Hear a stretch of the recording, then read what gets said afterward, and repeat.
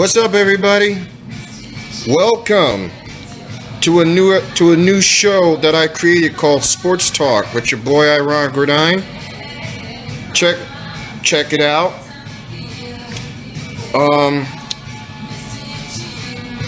time it, and now it's time for Sports Straight Talk on Sports, presented by Geico. 15 percent more on on car insurance.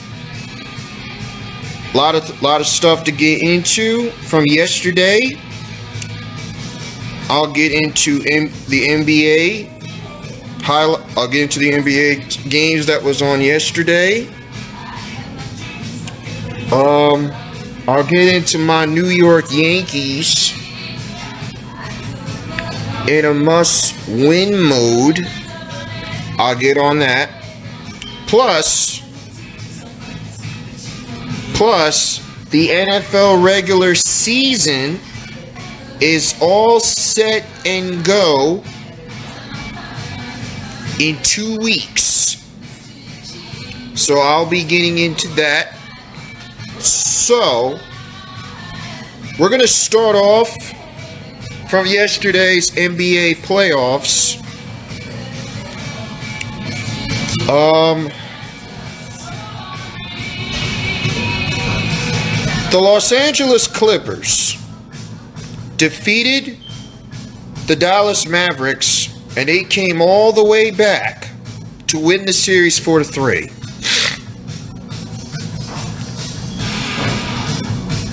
Um,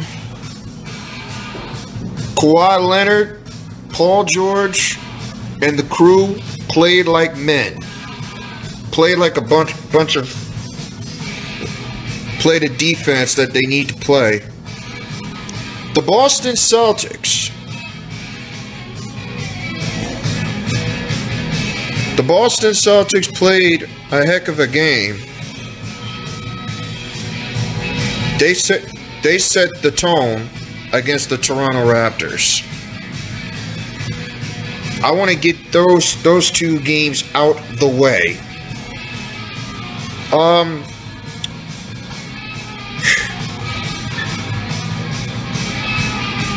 Knowing that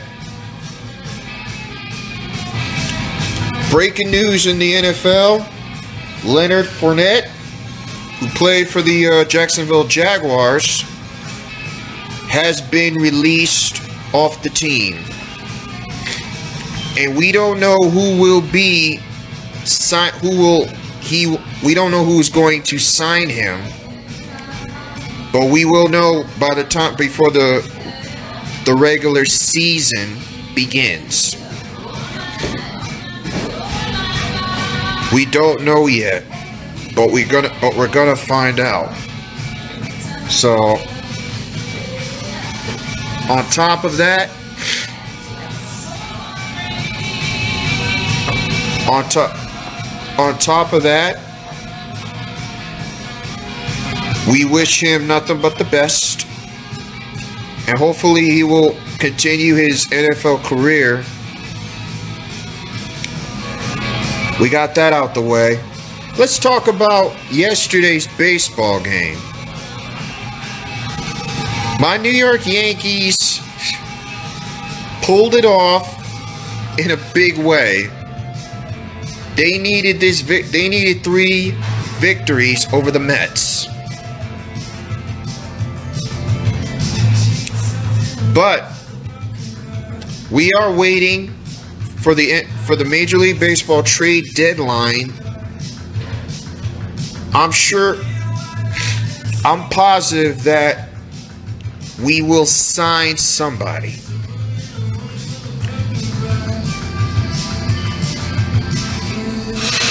Now, the Yankees did win three three in a row on the Mets. We needed those three wins to stay on course in the American League East. Now, um,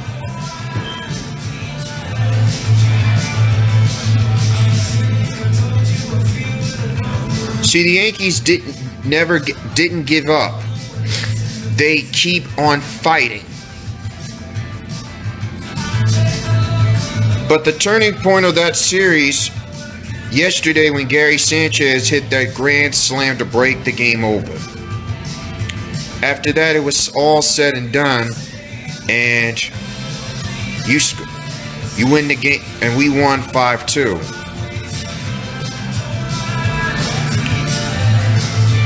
Um, we have now that the Yankees came all the way back and let now lead the season series on the Mets 3 2. For now, we have to play Tampa Bay. We need Aaron Judge and we need Giancarlo Stanton.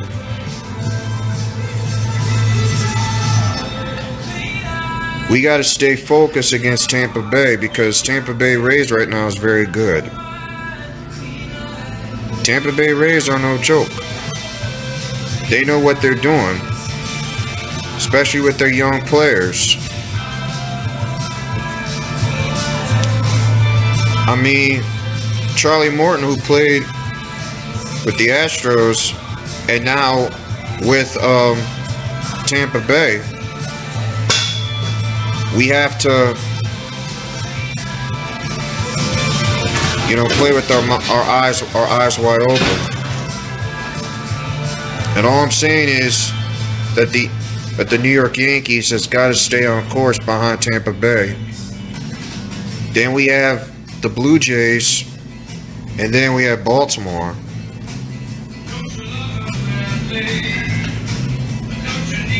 So we need we need to get back to winning the AL East division.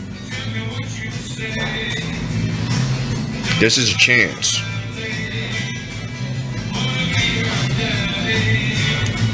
And I'm ready for the NFL season. You know why?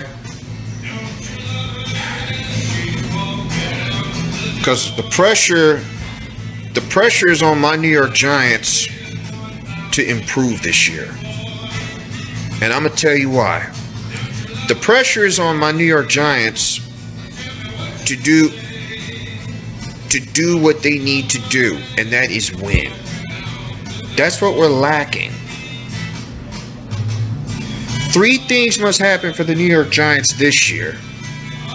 We need to play good team offense, good team defense, and and finish strong. Those are the three keys that we can win and get back to the postseason.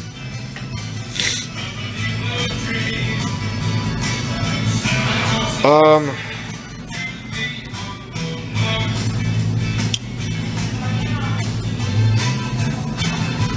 I want to get that out the way.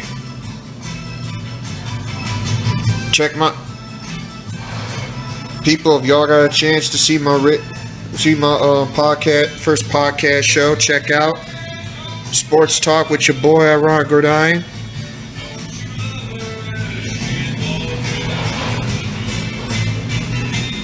Um,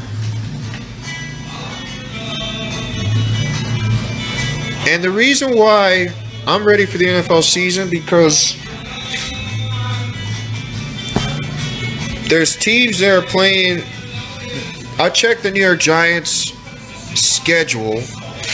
Not only are we playing the Cowboys, the Eagles, besides the Cowboys, the Eagles, and the Giant, the, maybe so that's Cowboys, Eagles, Redskins. I have a feeling everything's been lost. We have the Steelers, the Ravens, the Bengals, and the Browns this year. I have a feeling they're probably using bar drawers. Do you have the same dispensers over Um, like I said, the pre- the pressure's on my New York Giants to, to win to win this year if we have a chance to be successful, then we have to do what we're supposed to do, and that is win.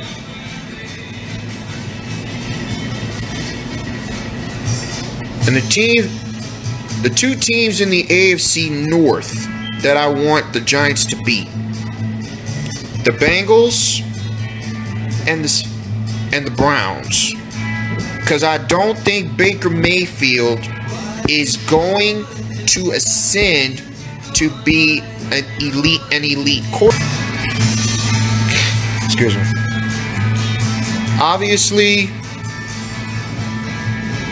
Stephen A. Smith from First Take made a point. He made because the Cleveland Browns have been having got seven, 70 plus penalties in the regular season.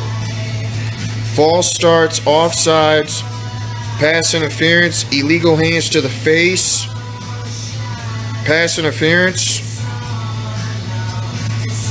holding calls.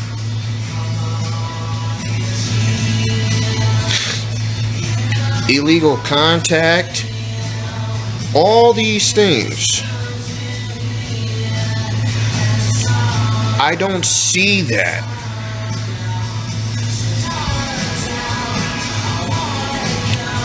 Team up the teams I want to see going to the Super Bowl Saints, 49ers, Kansas City, Baltimore, Tampa Bay with Tom Brady and Rob Gronkowski, New England, Tennessee Titans if they spoil it. No, I don't trust the Houston Texans because the last time they played Kansas City Chiefs, they blew a 24 0 lead. And they let Patrick Mahomes come all the way back, and the team come all the way back, put up 51 points, and that was that.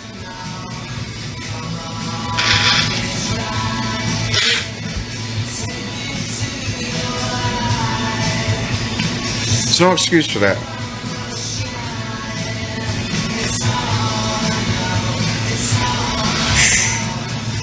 This is Sport, Sports Talk with your boy, Ron Gourdine.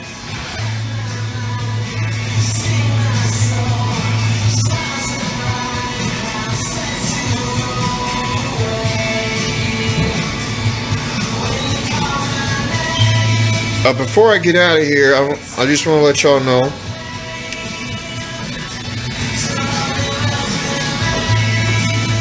tonight. We got a lot of baseball going on tonight monday night. Tonight we got we got wwe monday night raw tonight. Um we have tonight we have the yankees and the tampa bay rays in new york city. And the mets play tonight So we have baseball action tonight. Also, Monday, WWE Monday Night Raw tonight.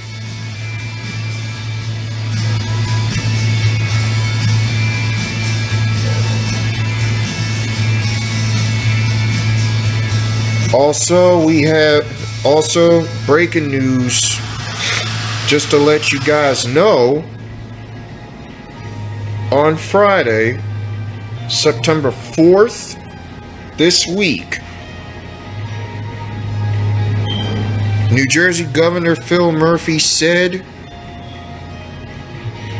that all re- the restaurants in the state of New Jersey, statewide, will start indoor dining. But here's the thing we're, we are doing the capacity of 25% of people. But if everyone else tries to, co- even though we're packed for 25 people, we just got, we're gonna have to put you on the lit waiting list until somebody is done with the table eating. That's the that's the way it's gonna be. We're gonna have we're gonna have to um we're gonna we're gonna have to work with it. That's just the way. That's just the way it is.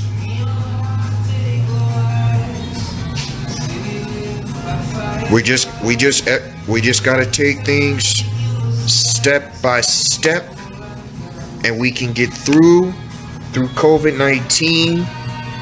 We can get through everything, and one and someday we will. Everything will be normal. And hopefully, once Special Olympics basketball season in New Jersey or wherever state you're from, we will be back to compete for a championship. Everybody. This is it.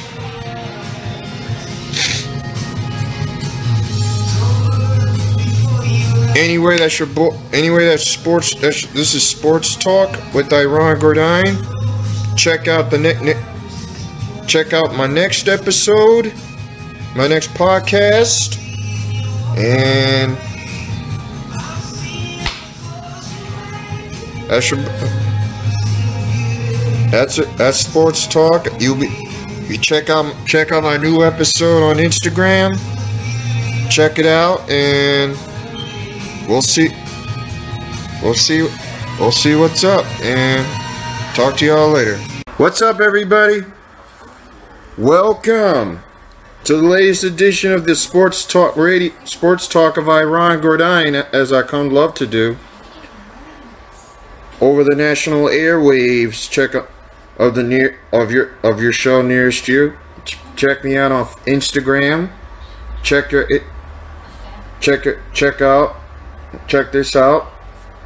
Um, my my talk my talk sports talk show presented by Wendy's. Get buy one get one. Good deal for for one dollar.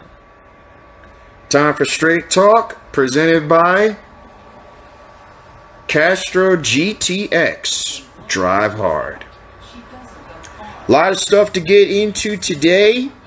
Um, the NFL kickoff season is here today. Tonight, the Houston Texans facing off against the Super Bowl champions, the the Kansas City Chiefs at Arrowhead Stadium. It's going to be pat. It's going to be 17,000 fans here tonight. Time. Now the pressure, the pressure is on the Houston Texans to win this game. If you look back to last season, Houston Texans in the play in the divisional round had a 24 nothing lead.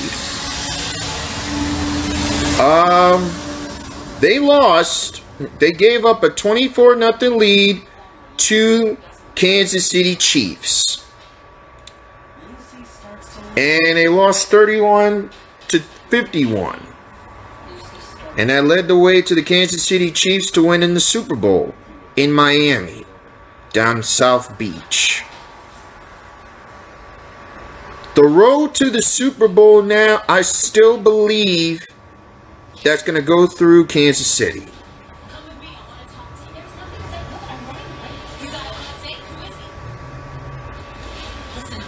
Now listen.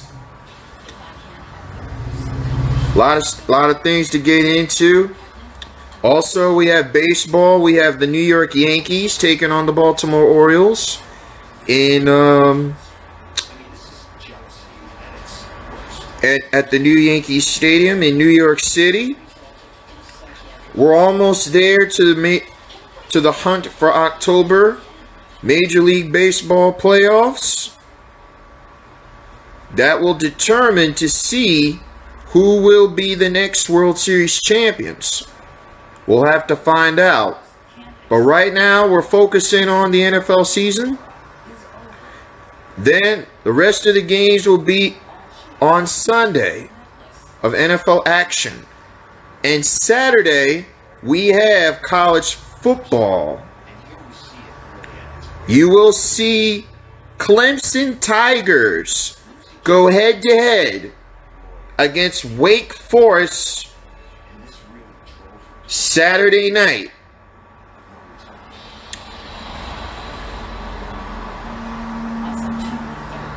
Also, a marquee matchup on Sunday during NFL. You will see the Packers against the Vikings. Monday Night Football, the, the New York Giants will take on the Pittsburgh Steelers in Pittsburgh, Pennsylvania. You got two games on Monday night. Steelers and the Giants. And the the Broncos and the Tennessee Titans. That's the that's a late game at 10 o'clock at 10:15 in Denver, Colorado, at Mile High Stadium. But I still say that the road to the Super Bowl the road to the road to the Super Bowl will have to go through Kansas City Chiefs because they're clearly the favorite. And as you all know, the Oakland Raiders the Oakland Raiders have moved to Las Vegas. So can you imagine at Las Vegas, Nevada, watching the Las Vegas Raiders and you are at the game gambling, making money, betting, betting on a game, and you win money as the Raiders win, man, I could never, I could never vision myself going to, I mean, going to uh, Las Vegas. I know the 49ers will still still has a shot going back to the Super Bowl, but I believe they still have a chance of winning.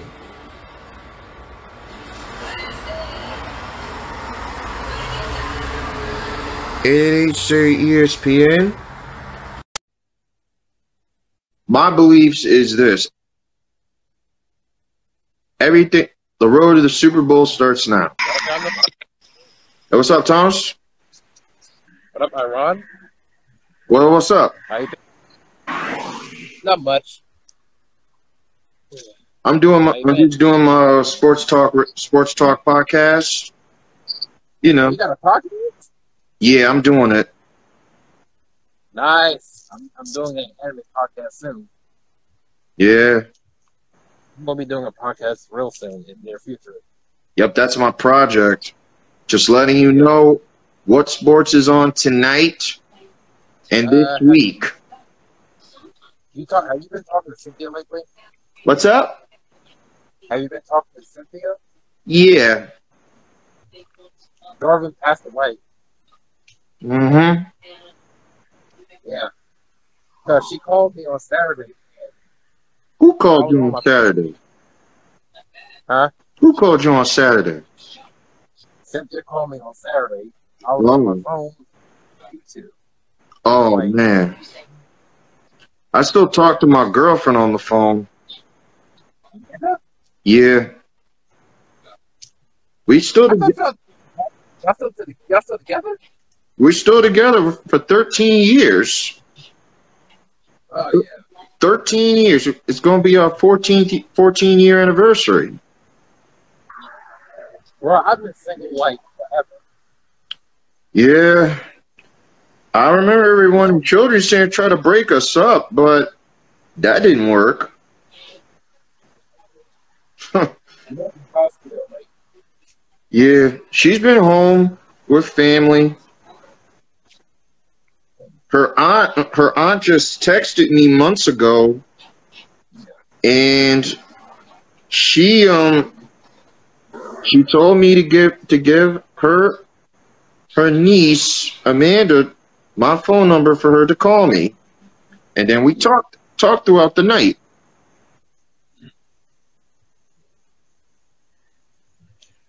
I've talked to Ariel Jones. He's been he's been busy work he's been busy working in children's center with kinderglide kinderglide with the kids Uh, and he's been make and he's been making money. lots of lots of money though. Yeah. Sure. Well, let me think so. I, I've been having an adventure since 2013, 14, 15, 16, and 17. Yeah.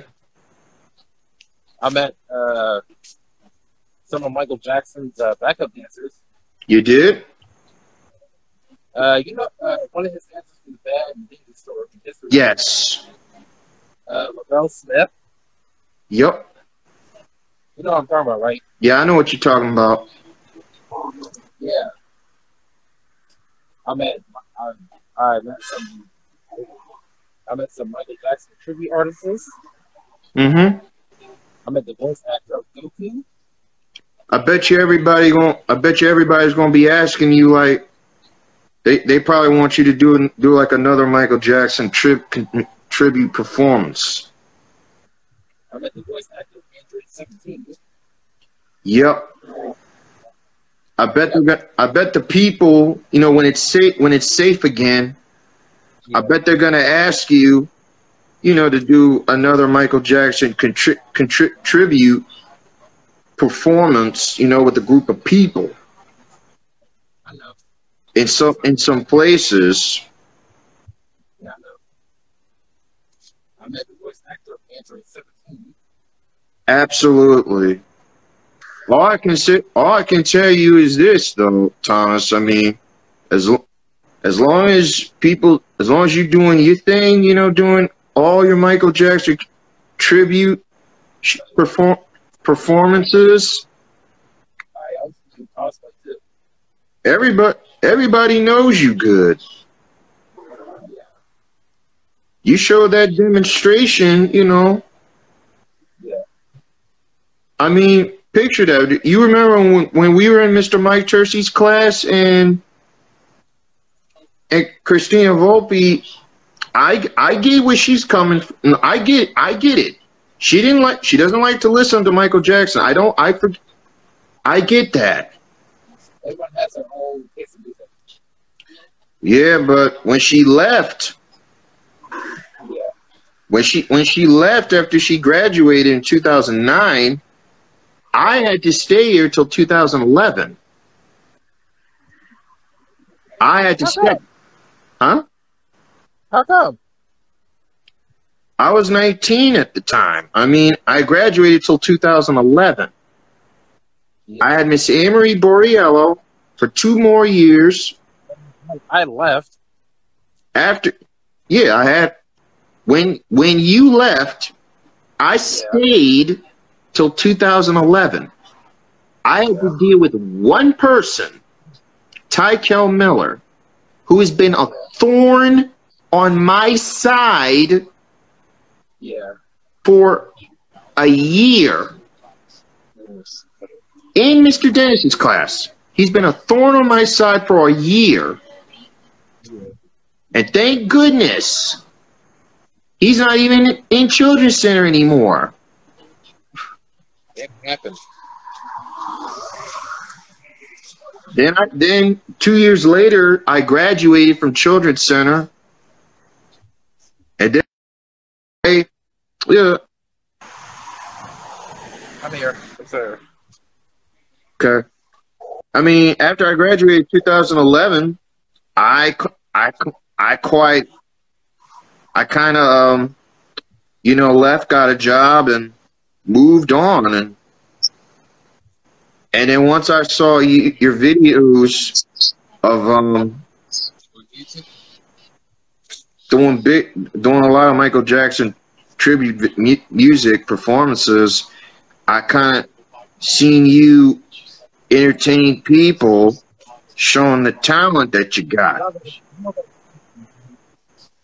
You know I went to New York Comic Huh? Con, right? I went to New York Comic. Yes. I th- Oh, guess what? I'm, I met Stan Lee. yes, I've seen I've seen that um that video when you did No, really. I met Stan Lee. yeah, I did. I seen that vi- I seen that video. It was I even got his yeah, I saw that on Instagram. He signed one of my X Men comics. I got. Yeah, I saw yeah, I saw that yeah, I saw that picture on um on Instagram. Yeah, and all the girls, all the girls are lovely. My goodness. Man. Yep. Man, I'm, I mean, come to think about it, Thomas, I I say, as long as you continue to do your thing, you good. Yeah. I mean, you. the I mean, maybe they should put you on a record on a record label. They got They got to put you on a record label on the music for music.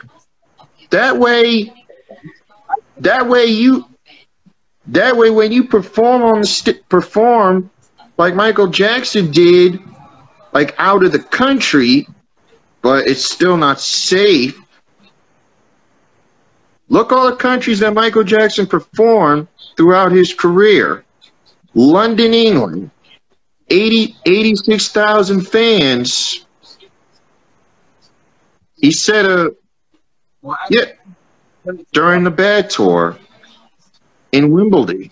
Yeah, because he performed in Prince Charles. 86 86,000 fans. He said he said a he set a record for most people during the bad tour. Well, it was 32,000 people. Yeah. Well, yeah, he did. Yeah, yeah he did. Oh, what the-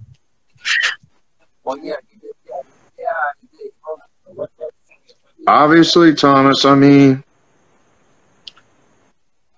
next year when my girlfriend Amanda and I you know celebrate our 14 year anniversary our relationship is going to be better is our relationship is going to be better than than Triple H and Stephanie McMahon. I'm sorry. You know, that's not watching wrestling, right? Yeah. I did meet both Triple H and Stephanie McMahon in, in person. Yes, I did. When they were sponsoring Special Olympics down in Lawrenceville, Lawrenceville, New Jersey. Oh, you met them? Yep, I saw the big show coaching a Special Olympics soccer team. And and Natalya Neidhart, Bret Hart's niece. They were they were coaching a Special Olympics soccer team. And yes, and once I met the big show, still seven feet yeah. I know you met, I saw the picture of you meeting Bret Hart. Yes, I did. I saw that. And I did meet up, and I did meet up. The only three people I saw, two, four people I saw was Triple H, Stephanie McMahon, The Big Show, and Natalya Neidhart. They were there. But then Triple H had to get back to East Rutherford for Extreme Rules that week because him, Batista, and Randy Orton were facing the Shield. Oh, yeah. And I'm like, Big Show's still 500 pounds? But obviously, he lost weight. He's 487. Three, seven. Yeah, he lost. He's, he's not 500 pounds. Yeah, he's around the same. He's seven feet tall and he's like 486. Brock Lesnar was 295 pounds. He lost nine pounds. He's now 286. but I can still say, And he's still a beast. yeah, he is. And plus, he's still 295 pounds. A Train's not there anymore. Nathan Jones not there anymore. Matt Morgan, he moved to TNA.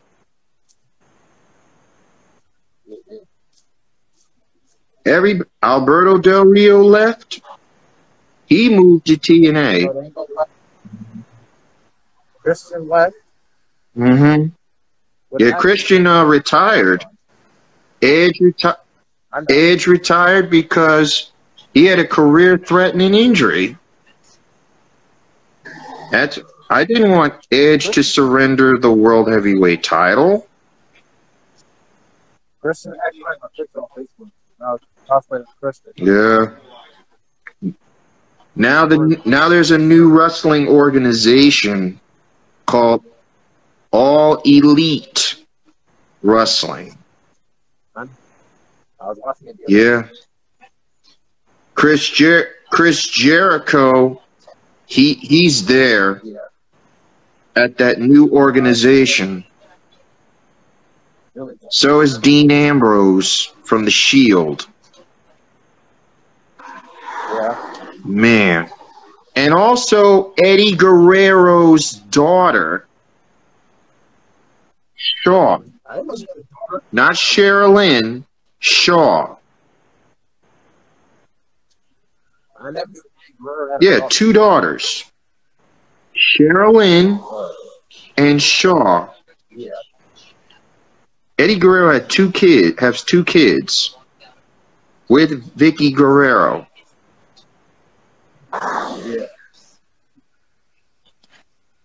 I miss CM Punk. Oh. Man, Vickie Guerrero's not even there anymore. She got fired. I'm talking about CM Who? CM, CM Punk. Punk retired after he lost Oh, yeah. after he beat the Shield at um Yeah. at tables, ladders, and chairs in a handicap match, three on one handicap match. Yeah. Yeah, it was one against three. Anyone else you you trying to you miss you you miss? Like wrestling? What's up? Like, who you talking about? Wrestling or out of. Um, I still watch wrestling. Still watch um. Teen. I watch some old stuff from the nineties. Wrestling that I miss? Yeah. I miss seeing. Yep. At, from the Attitude Era. I miss seeing Deborah. Yeah, Deborah's still married to Stone Cold Steve Austin. I miss seeing. Uh, I miss Chyna. Yeah, Stone Cold Steve Austin got his own podcast. And Chris got podcast too. Yeah. Thomas, imagine you being the next guest of Stone Cold Steve Austin's podcast. Yeah. Stone Cold gonna have to ask you a lot of questions. Yeah. What question will he ask? And you know, and you know, man, I miss The Undertaker. I really do. He had to retire because he was getting old. They should. They should have. They should have never made Brock Lesnar take a straight. I'm a stupid. Yeah, yeah, I remember when he lost to Brock Lesnar. But he did Yeah. but he did get his hands on Brock Lesnar at SummerSlam. And he won. He won.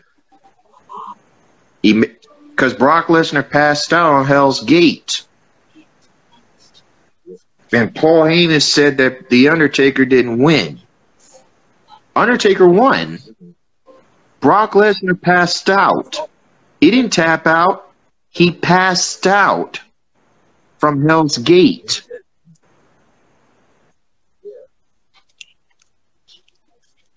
he won. Yeah. Then he beat, but at WrestleMania 20, 31, he beat Bray Wyatt. Yeah. Yeah, WrestleMania 32 be Shane. Yep. Bray Bray Wyatt, you know, he told Undertaker when Undertaker got in the ring at WrestleMania 31, he said, "You see this? These people." He said, "These people belong to me." Undertaker didn't care what what you say. You know, there was a rumor this was to be Undertaker versus Sting at WrestleMania 31, but it never happened. Yeah. Do it. That would that match was awesome between Sting and Undertaker. Yes. Man, I, man, I wish the Undertaker never left, but he had to. Well, you know how it is. All that wrestling do out to your body. He has 27 WrestleMania victories. Got to give him credit. And you got to give him credit for being a WWE champion and world heavyweight champion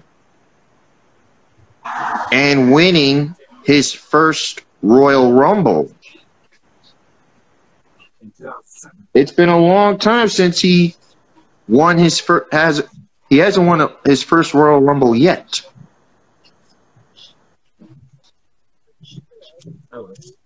He hasn't won it yet because he kept being eliminated. Yeah. And my favorite Undertaker moment when he during that biker that bike era when he when he um when he returned on Raw and he called out Test Yeah. And Christian and Christian was part of the un-Americans. I'm like, That was actually what's up? that was 2002 the Un-Americans. Yeah, 2002. The Undertaker was pretty uh was still was still the same even though he had tattoos. That was before he changed changed back to who he was in 2004. 2003 I was fed up with Kane because he electrocuted Shane McMahon in the testicles. Yeah, That was the That was a good that that was scary. Yeah. But Thomas, if you if you re if you if you reunited the Brood, would you attack? Would y'all attack Kane? If if Shane McMahon get electrocuted in the testicles, Yeah. Yeah. you know what the Brood was known for? Yes. And remember, the Hardy Boys almost got into a bloodbath by the Brood. And the Brood got a taste of their own medicine. Yeah, I remember that. Scene. But, Well, Matt Hardy in AEW yeah, I know. and Jeff Hardy still in WWE. Yeah, Jeff Hardy. I remember I was like congratulating Jeff Hardy when he won his first WWE championship. I was very happy for him. And I was very happy for Christian winning the World Heavyweight Championship in a ladder match against Alberto Del Rio.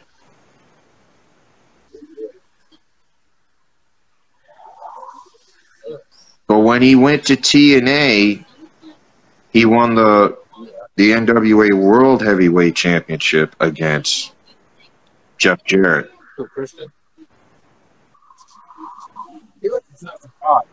Then he came back to us. Yeah, absolutely.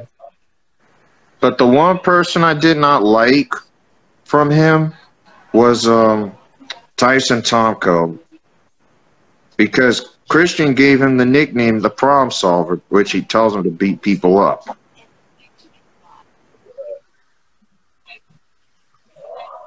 Thomas, what if we cr- recreated the brood? The brood with Gangrel or Edge and Christian and and to and take the places of Edge and Christian and we assaulted the brood.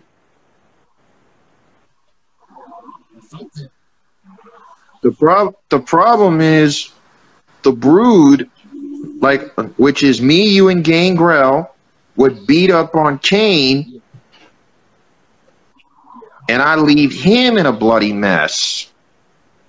If some if Kane try to uh, do something, if somebody if Kane did something desperately, I never liked what Kane did to Linda McMahon, tombstoning her on the on the steel, on that steel stage.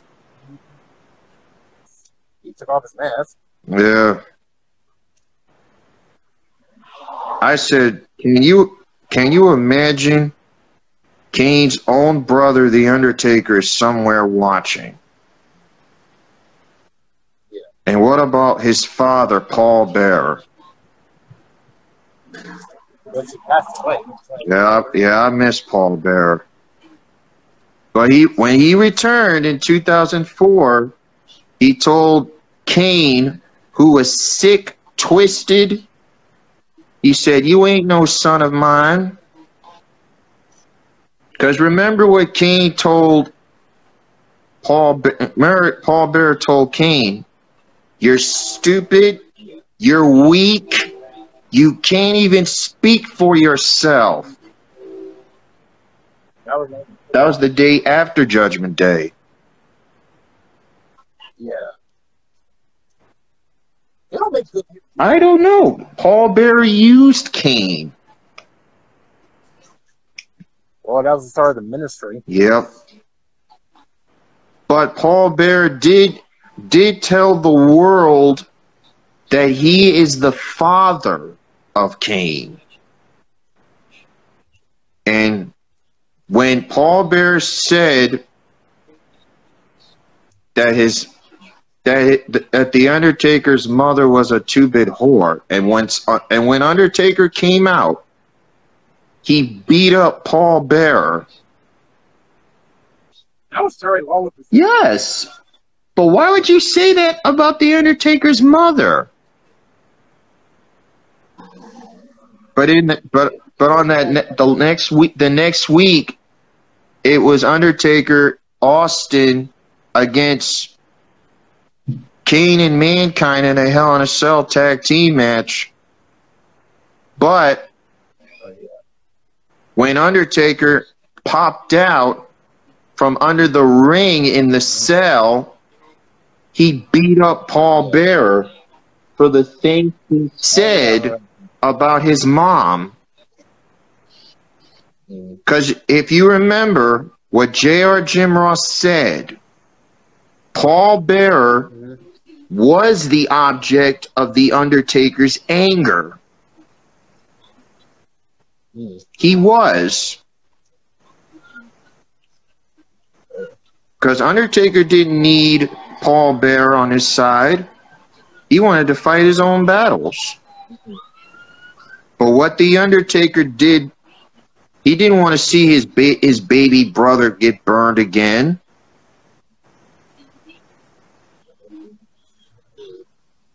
Well, the, he did he did the right thing at King of the Ring. Because at King of the Ring, when Undertaker hit Austin in the head with a chair, because he saved his brother because he didn't want to be set on fire. But the one thing I laughed when Undertaker and Kane broke, when Undertaker and Kane broke Vince McMahon's ankle. Do you remember that, Thomas? I laughed because if Because when Mr. McMahon stuck up his middle finger at the Brothers of Destruction, the Undertaker, when it, the cops wasn't even in the ring, I laughed at Vince McMahon, but then he gonna blame it on Austin. For what? Yeah, I know you mean that. Well, Undertaker and Kane did what they had to do to get rid of their problem. Austin's not their problem, it's Vince McMahon. Once they broke his ankle, Vince McMahon called Austin out. Because I can't believe the big boss man that I respected worked for the corporation. But when The Undertaker created the ministry with the Acolytes, Mideon, Viscera, and the Brood, they were scaring Stephanie McMahon. I was pretty scared. And Undertaker had that devilish beard. And guess who? And guess who? And guess who tried to kick? Guess who almost kicked his butt? Ken Shamrock.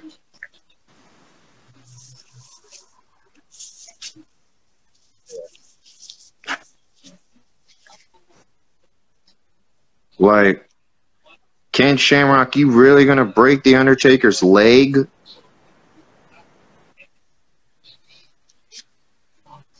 I'm like, Ken Shamrock, go ahead. I say, I guarantee you, Ken Shamrock's going to break The Undertaker's leg like a twig. Mm. Oh yeah, backlash. Yes, I remember. And the Brood almost beat the Ministry. They were close. But Christian got squashed Yeah. by Viscera. By Viscera. If the if the Brood want, would have won, the Undert- then the Undertaker's music would have popped out. You know died. yes, right? I know. God bless him. God bless his soul. Yeah. Especially when when he was with the it- with the ministry with Viscera, actually with Mideon, Yeah. they were dominant. But when it, but when it's with Mideon and Viscera. They're, but with Viscera and the Acolytes, their combined weight is like Yeah. 900 plus pounds. But with The Undertaker and Mideon, 1,048. Oh. Like, really? 1,000 plus pounds? In a tag team Yeah. match? That, man- Unbelievable. like how's how's the Brew gonna lift up Viscera? What's up? I was watching the Brew versus uh, Viscera and the Acolytes. I'm saying, how's the Brew gonna lift up Viscera? He weighs like 500 pounds. I don't know. I mean, their combined, their total combined weight with Well, Chris 227. Yes. Gangrel weighs 250. Edge weighs 200 and yeah, was like two fifty, and Faarooq, who was part of the the Nation of Domination, Faarooq's like two seventy eight, and Bradshaw two hundred two. like 290, 297. They're like the whole Ministry of Darkness weight combined weight was 1,000 plus pounds. Uh, gonna